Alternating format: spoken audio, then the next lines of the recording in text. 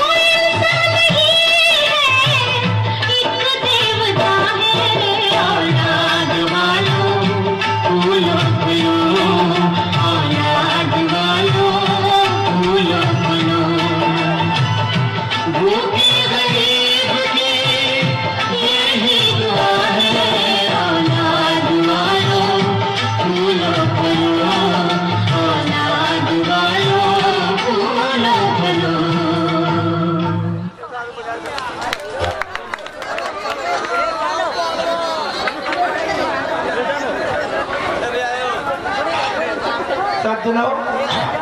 माता एवं बहनों ये जो कुरान देखे आप इसमें एक एक रुपया एक एक रुपया जो आप दान दिए ये सारा पैसा शिव मंदिर में जमा किया जाता है